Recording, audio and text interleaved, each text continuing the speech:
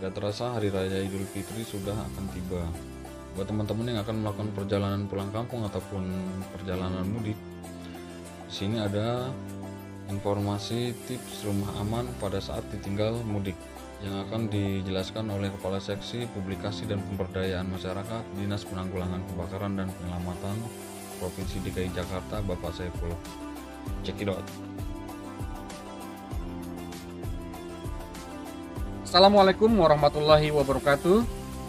Lebaran 2022 tinggal beberapa hari lagi. Di tahun ini, pemerintah secara resmi mengi- mengizinkan masyarakat Indonesia untuk dapat melaksanakan mudik lebaran. Nah, bagaimana agar kita dapat meninggalkan rumah kita dengan aman saat melaksanakan mudik lebaran?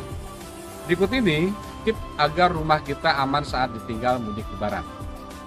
Yang pertama, cabut alat-alat yang terhubung dengan kelistrikan seperti TV, jet pump, dispenser, dan lain sebagainya. Yang kedua, pastikan kompor dan gas mati. Agar lebih aman jika regulatornya dilepas. Yang ketiga, titipkan hewan peliharaan Anda ke pet shop atau orang kepercayaan Anda yang tidak mudik. Dan yang keempat, menginformasikan kepada RT, petugas keamanan lingkungan bahwa Anda dan sekeluarga akan melaksanakan mudik lebaran.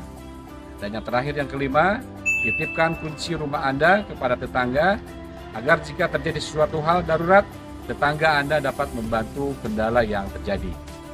Demikian tip aman meninggalkan rumah saat mudik lebaran. Semoga Anda dan keluarga dapat pulang melaksanakan mudik bertemu dengan sanak saudara dengan aman dan nyaman. Wassalamualaikum warahmatullahi wabarakatuh.